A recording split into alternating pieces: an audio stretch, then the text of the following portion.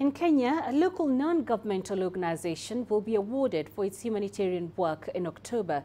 The award will come with a funding worth $2 million. The funds will go into expanding its work in Kenya's biggest slum, Kibera. Shining Hope for Communities started as a community-driven project aimed at addressing problems faced by the struggling Kibera residents. CGTN's Wilkista Nyabwa spoke to the co-founder of the group. The blue posts that dot the sprawling Kibera slums in Kenya's capital, Nairobi, are important markers. They show the parts of Kenya's biggest informal settlement which have access to clean water. It all starts here at water tanks placed high above the ground.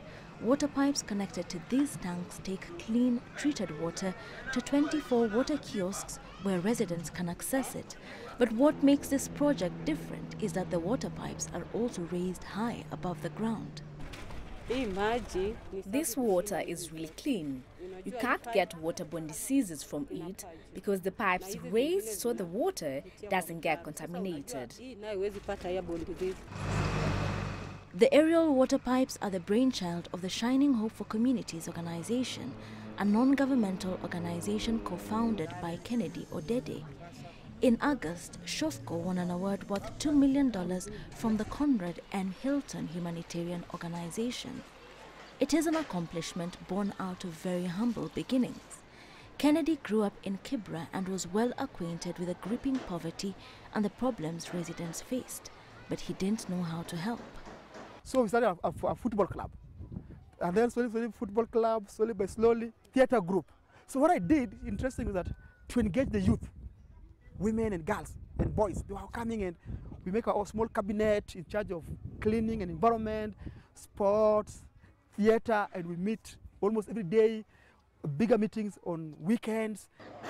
And from the initiative, Shofco was born, with Kennedy seeking funds to solve the community's problems.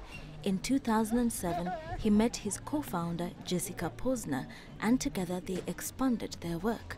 Today, Shofco runs a school for girls, a clinic, a community library, and the water project where residents buy a jerry can of water for just two cents.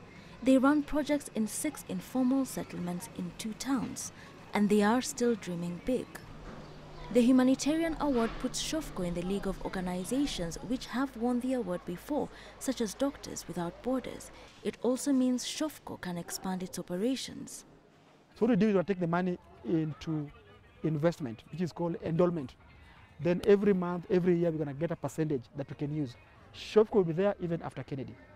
It will be there existing because every year we'll be getting some money from it.